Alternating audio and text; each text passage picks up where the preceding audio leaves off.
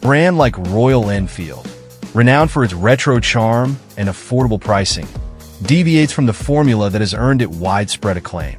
The stakes are undeniably high. Last year, when Royal Enfield introduced the 2024 Himalayan, powered by a liquid-cooled DOHC 452 cubic centimeters engine as a successor to its beloved 411 cubic centimeters air-cooled model, it was met with positive reception from both the press and the public. While modern design and innovation are crucial in the ADV world, the question remains, how does this shift impact Royal Enfield's core standards? We traveled to Barcelona, Spain, to find out if the brand's second model, powered by the new Sherpa single, lives up to the challenge. This model will be a decisive test of whether a more contemporary approach can resonate with Royal Enfield's traditional audience.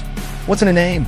Royal Enfield has dubbed this new model the Guerrilla 450, emphasizing its departure from the norm. According to RE, while many small single-cylinder standards tend to mimic each other in appearance and performance, the Guerrilla 450 stands out as a nonconformist. However, while it may not be revolutionary within its segment, it is breaking new ground within the Royal Enfield lineup, making it a disruptive force, challenging the old guard. Engine At the heart of the Guerrilla 450 is a liquid-cooled 452 cubic centimeters DOHC single engine, known as the Sherpa. This marks Royal Enfield's first ever liquid-cooled engine in its 124-year history although the company has recently introduced several new engine platforms, such as the 350 cubic centimeters J platform, 411 cubic centimeters L platform, and 650 cubic centimeters P platform. All of these have been air or oil cool. While these engines have served their purposes well, a modern standard requires a modern engine. This new over-square engine features an 84.0 millimeters bore and 81.5 millimeters stroke, a compression ratio of 11.5 to 1, and a 4-valve DOHC head. A forged piston operates within a Nikasil-coated cylinder bore, while a ride-by-wire 42mm throttle body feeds a downdraft intake where electronic fuel injection regulates the fuel mixture. Power is transferred through a cable-actuated wet multi-plate slip-slash-assist clutch to a six-speed gearbox. Royal Enfield claims the Guerrilla 450 generates 39.5 horsepower at 8,000 RPM and 29.5 pound-ft of torque, figures identical to those of the Himalayan, as the engines are identical in every specification and detail. Chassis While it may be tempting to assume that the Guerrilla is simply based on the Himalayan due to their similar-looking chassis, the reality is that these two models were developed concurrently, and there are significant differences. Both bikes use a steel tube frame with the engine as a stressed member, but the frame dimensions are distinct. The Guerrilla features a steep 21.8 degree steering rake with a trail of 3.6 inches. It has a wheelbase of 56.7 inches and a seat height of 30.7 inches, which is quite accessible, though there's a taller option available, but no lower one. These are all favorable dimensions for a standard or roadster.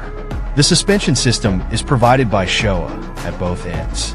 The front suspension consists of a non-adjustable 43mm conventional fork with 5.5 inches of travel, while the rear features a preload adjustable monoshock with linkage, offering 5.9 inches of wheel travel. Both wheels are made of cast aluminum, fitted with 120 divided by 70 are minus 17 and 160 divided by 60 are minus 17 CEAT Gripp XL tires. Electronics. The Guerrilla 450 isn't overloaded with electronic rider aids. It comes with two ride modes, Performance and Eco. The Eco mode slightly reduces power delivery by limiting throttle opening and fuel input to enhance fuel efficiency.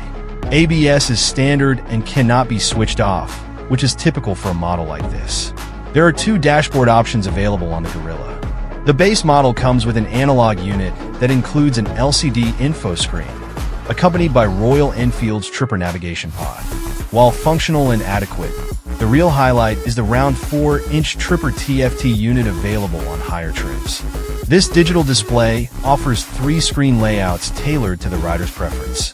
The analog layout features a circular tachometer with speed, gear indicator, and trip info, along with turn-by-turn -turn navigation if connected to the Royal Enfield app. The digital layout places trip info and navigation front and center, alongside attach and speedometer. The navigation layout dedicates the upper two-thirds of the screen to a Google-based map, with essential riding information displayed below. Each screen is easy to read and makes sense at a glance. Connecting to the Tripper Dash with the RE app is quick, with the app actually taking a photo of the dash info to connect directly and simply. The app does need to run in order to feed the navigation info to the Tripper Dash, so long rides will require the ability to charge. Thoughtfully, Royal Enfield included a USB-C connection on the bars, but storage will be up to you. Jacket or a tank bag. Riding impression, engine. With a flick of the start slash run slash off dial, the Guerrilla pops to life with a quick idle and pleasant thump. Right off the bat, it's clear this Sherpa engine is unlike the J and L platforms and is modern. Cracking the throttle sweeps the needle through the rev counter quickly, without any stumble or hesitation. Clicking into gear takes a light touch from your left toe, while clutch engagement is communicative and predictable. On the road, it's time to feel the torque and power from the new engine.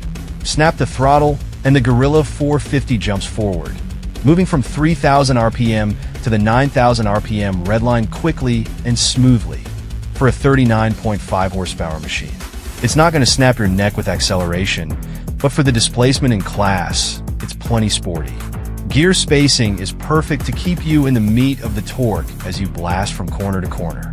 Lugging the engine below 2,500 is possible, but it's a very rough, chunky affair.